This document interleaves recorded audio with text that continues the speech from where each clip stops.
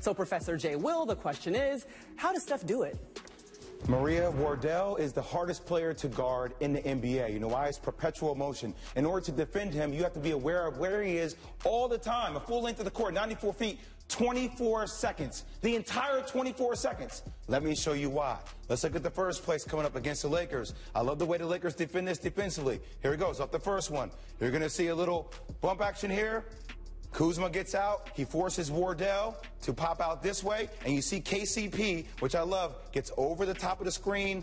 Classic textbook how you defend a pick and roll. I love it. Great. Give us the ball up once again. Now, AD. Look how far AD is playing up. AD is playing this far up, right? Trying to block the fact he doesn't want Steph to come off this shoot. I like KCP once again coming over the top of this, chasing Wardell, chasing him, staying attached to that hip the whole time. He chases. Now, the ball gets passed. Here's where it gets good.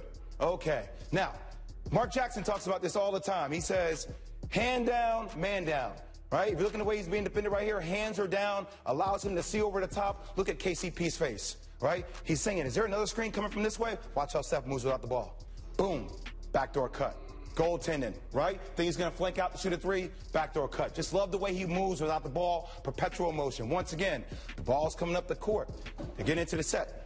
Look at Dillon Brooks. He fights over the top of the screen. I like it. Beats over the top. Now, this is where it gets good. You're going to see a back screen by Wardell, okay? Here comes a back screen right here. Dillon Brooks is guarding him.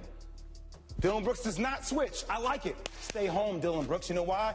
He's not going to beat you. You don't switch. Okay, you don't switch. Now, if you don't switch again, you have two options here. Because here comes another down screen by their player here on Dillon Brooks. Two options. Option one, you can chase. That's what they teach you, right, Jay?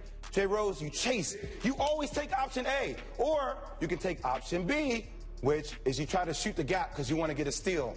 You don't take option B, that's what happens, right? But look at look at that. Look at the effort. Look at the effort. Look at him. That's a sense of urgency to get back to the shooter. Closing out on the strong side with the right shot. Also funneling him down into Valanciunas. Great effort defensively. He does it. But did you know that Stephen Curry, Jay Rose, shoots mm. 45% on relocation threes? Look mm. at this. Look, look where Dillon Brooks is. He's focusing on the ball right here. Dillon Brooks, don't focus on the ball.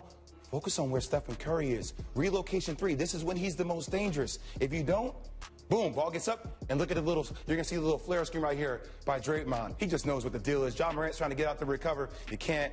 Bam. That's the reason why Steph Curry had 46 points against Memphis last Sunday because of perpetual motion. And God, man, he's just special to watch. Thanks for watching ESPN on YouTube. For live streaming sports and premium content, subscribe to ESPN Plus.